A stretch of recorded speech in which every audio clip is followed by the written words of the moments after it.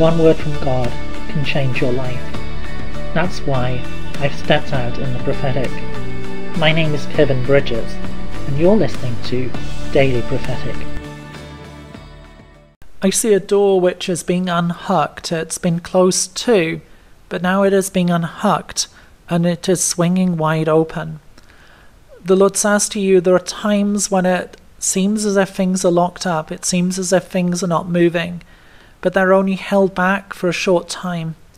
Trust in me and trust that I am swinging wide the doors, that I am the one who opens the doors, and when I open them, no one can close them. Trust in me and trust in my timing.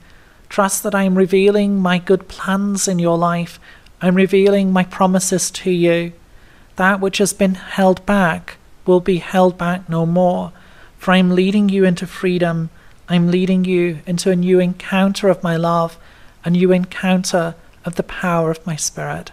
Would you like a personal prophetic word? Check out the website in the description below. Don't forget to subscribe to get your daily word of encouragement. And whilst you're here, why not have a look at some other of the videos that I've made? God bless you and have a really great day.